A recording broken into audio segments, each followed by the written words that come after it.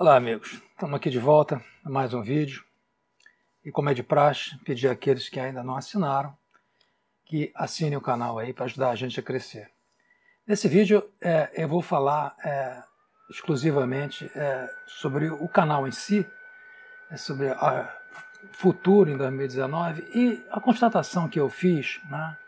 até coloquei uma pesquisa para saber a resposta de vocês, uma constatação que eu tinha 10% de temas, de vídeos, né, é, no, no tema é, defesa, mas esses 10% de vídeos é, produzidos desde que eu comecei a produzir vídeos no canal tinham gerado os 65% da visualização e trazido a maioria é, dos, dos, assinantes para o canal. Né?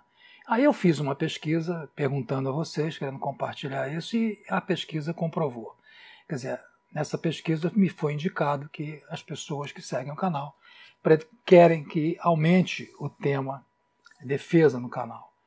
E sem prejuízo de, de vez em quando, manter alguns vídeos na área de história, é, de história da religião, não religião em si, é, e os temas políticos, que eu diminuí né, nos últimos tempos por causa dessa polarização. Né? E eu acho que o resultado, né, o que tem acontecido e o resultado é mais ou menos coerente. Por quê que eu digo que é coerente? Né? Porque na minha formação, né, tudo aquilo que eu transmito sobre história, sobre história da religião, sobre política, é fruto de estudo, é tudo de leitura. Né? É, eu estudo história há, desde os 15 anos de idade, amador, de forma amadora. Né? Talvez seja um historiador frustrado. Mas no tema defesa, eu vivi bastante isso. Né? Eu fiz colégio naval, eu fiz escola naval, passei dois anos embarcado na Marinha, depois eu fui, prestei um concurso dentro da Marinha para o quadro de engenheiros navais, é, fui para São Paulo, cursei engenharia naval, e aí fui trabalhar no arsenal, tive alguns períodos trabalhando em estaleiro é, pela Marinha, né, em treinamento é, na Inglaterra, treinamento também em bases de submarinos na Inglaterra, para é, aprender um pouco de manutenção de submarino. Então eu acho que é, quando eu falo do termo defesa, é, talvez eu fale de uma maneira mais solta, porque não só não é um conhecimento só adquirido na leitura, é um desse conhecimento vivido. Né? Então eu acho que a explicação é essa. Né? Então eu vou atender a essa solicitação e a esse, essa demonstração que os vídeos, é, que a receptividade dos vídeos me mostra. Né? Agora, eu tenho uma observação com relação é, a algumas coisas sobre as pesquisas. Né? É, uma delas é que é, eu tenho feito poucos, né, uns dois ou três vídeos sobre história da religião, na qual eu abordo a historicidade né, de personagens como Paulo e Jesus. Eu não trato de religião, né? eu trato do Jesus, eu tratei né, do Jesus histórico, do Paulo histórico. Esses vídeos não tiveram é, muita repercussão, não tiveram muita visualização se comparar com os vídeos de defesa. Né? Eu tenho vídeos de defesa na faixa de 30 mil visualizações, 20 e poucas mil visualizações, e esses vídeos mal chegaram a 500. Né? Mas eu noto uma coisa, toda vez que eu coloco um, um vídeo desse, eu perco é, é, assinantes. Né? Talvez porque as pessoas não queiram ouvir né, é, a historicidade desses personagens quando a gente fala que muitas dessas coisas que estão é, nesses evangelhos é, são frutos de comunidades posteriores. Né?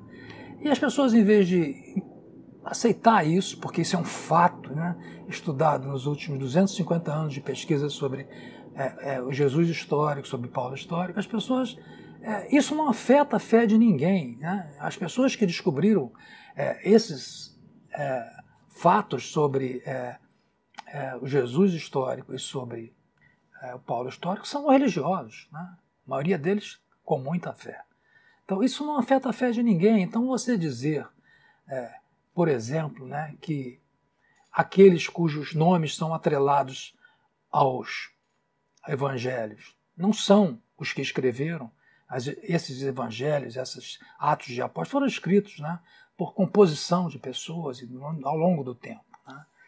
Então, essas coisas parecem que incomodam né, é, as pessoas de fé. Eu, eu acho que isso é uma posição um pouco de avestruz. Né? Você é, ouvir uma coisa dessa, isso não vai de encontro ao que você leu lá na, nas escrituras, então você não quer ouvir. Isso não abala a sua fé. Né? O que está escrito, o que Paulo, por exemplo, ensina, né? Não vai afetar se você souber né? que, na verdade, a história de Paulo pode ser um pouco diferente daquilo que é dito né? nos evangelhos. Né? Então é isso que eu queria comentar sobre isso. Né? Não vou é, eu vou enfatizar agora mais os vídeos de defesa, mas de vez em quando eu vou fazer alguma coisa na área de Jesus histórico, de Paulo histórico, que é um assunto que eu estudo há muitos anos e que eu tenho um certo interesse. Né? E a pesquisa me mostrou que eu não devo parar com isso. Né? Então, está lá, 41% das pessoas dizem que eu devo continuar, balancear, mas aumentar é, o item defesa é, no canal. Né?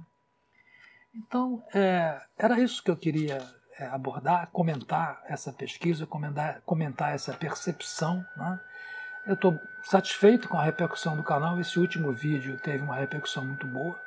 Ele trouxe um vídeo sobre é, a utilização é, do navios é, multipropósitos anfíbios com capacidade é, de aviões. Né? É, eu fiz esse vídeo e, e tentei mostrar, sacudir um pouco as pessoas em relação à, à questão de orçamentos e, e de como a, as dificuldades é, financeiras, elas sim, elas afetam, mas elas não podem definir os nossos objetivos navais. Né? A gente é restrito por essas, por essas condições, é, mas nós não podemos fazer um, um planejamento é, da Marinha que caiba no orçamento, não. Né? A gente tem que fazer aquilo que a gente precisa e tentar contemporizar aos poucos, ao longo do tempo, esperando que o país cresça para que consiga é, fazer isso. É, eu vou abordar, não agora, vou, estou fazendo um trabalho profundo sobre a, a esquadra ideal do Brasil, tanto em qualidade quanto em quantidade, mas isso vai levar um certo tempo. Né? Eu já prometi aos inscritos, tem gente que está esperando isso, é, que vou fazer esse vídeo, e para isso eu estou vendo muitos trabalhos, muitos trabalhos estratégicos da Escola de Guerra Naval, trabalhos também do Naval War College da, da Marinha Americana. Então eu estou preparando né, é, para fazer um, um vídeo, talvez tenha que ser dividido em dois vídeos, em que nós vamos dimensionar a Marinha Ideal, tanto em quantidade como em qualidade. Né? Então era isso que eu queria é, colocar nesse vídeo, um vídeo curto, só para dar um, um alô. Aqueles que não assinaram o canal, por favor, assinem, clique aí o joinha é, aqueles que gostarem, né? porque isso é uma, uma atitude totalmente discricionária de vocês. Gostou? Clica, não gostou? Não clica, né? ou dá o dislike. Né? Então é isso, muito obrigado e até a próxima. Ah, voltei só porque eu esqueci uma coisinha. Né? Algumas pessoas aqui no canal me, me intitulam como almirante, esse tipo de coisa, comandante. Eu preciso dizer o seguinte: eu saí da Marinha muito cedo, depois de cursar engenharia naval em São Paulo, eu fiquei mais uns dois anos na Marinha. E em 1976 eu saí da Marinha para reserva não remunerada. Né? E aí eu fui trabalhar é, no estaleiro, depois do estaleiro eu migrei para a construção é, das usinas nucleares e fiquei 17 anos na área nuclear.